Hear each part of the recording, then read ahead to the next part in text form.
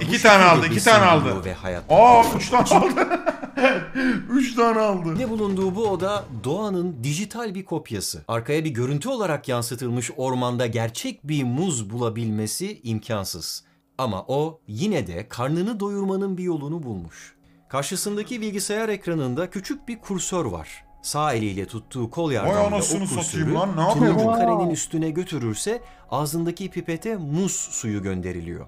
Bugüne kadar buna Oha. benzer sayısız deney yapıldı. Sen niye bu kadar şaşırdın? tamam lan aynısını Oğlum hamsilerde de yapacaklar. Hamsilerde de yapılacak aynı deney. Bekle bir 15-20 sene. Senin gibi köpeklerde denenmedi.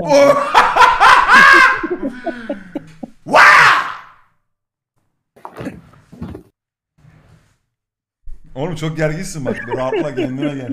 Sikmeyeyim ben Ya abi. gidelim ya. yapıldı. Bu tür deneylerde önüne konulan problemleri çok hızlıca çözebilen